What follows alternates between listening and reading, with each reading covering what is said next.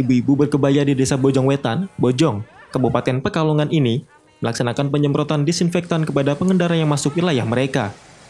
Satu persatu warga yang melintas di desa mereka disemprot ibu-ibu berkebaya ini. Selain melakukan penyemprotan, mereka juga membagikan masker kepada para pengendara baik roda 2, roda 4, dan para penumpang angkot di depan posko tim gugus tugas COVID-19 desa.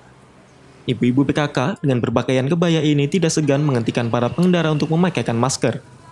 Menurut Widyaningsih, selaku koordinator tim menggerak PKK Bojong, aksi ini dilakukan dalam rangka Hari Kartini, sekaligus ikut serta mencegah penyebaran virus COVID-19 di desa mereka.